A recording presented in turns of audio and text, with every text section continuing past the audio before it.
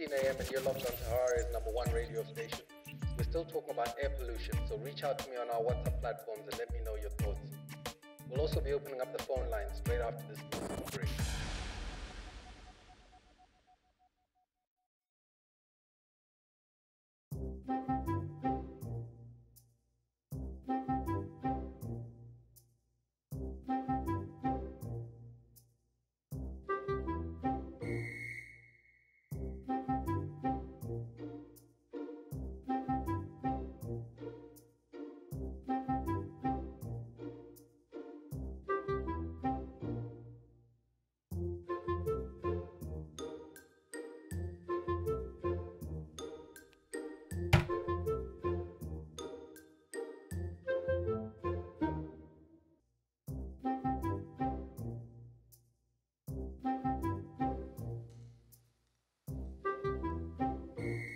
Gogo alo wena.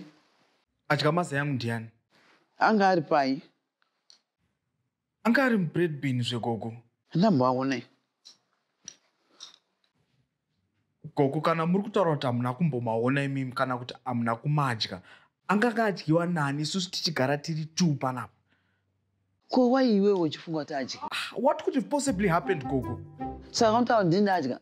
It's obvious ka iwe sati unetsa mwana silvester Ah? pane pamabhoona kana makoko emazai anyway. Kana pani yacho ya- yafraira munogona kunge mangodecida kumarova ari maboiled apa idouble yoke futi ah but gogo hamudaro imimi mukapa marova 5 mazai. 5 mazai ka 1 gogo sade kundinzwa ah. wellington Ah, gogo ndofila kunge muri kungondisabotaja inini i'm trying to start something new with my life. Imi mako yamava kudya stoko yacho futi something new with your life kuita sei wellington eji yako uchiri kugara nagogo nastopa wakuntaura kuti you want to do something with your life. Ndiani nautanga business. Nemazai 6 you start smoke starting small yacho yamava kundidyira iyi gogo starting small yekuita sei wena wellington Ah? tibvire apa mani ndisireti wodisa two teaspoons zeshuga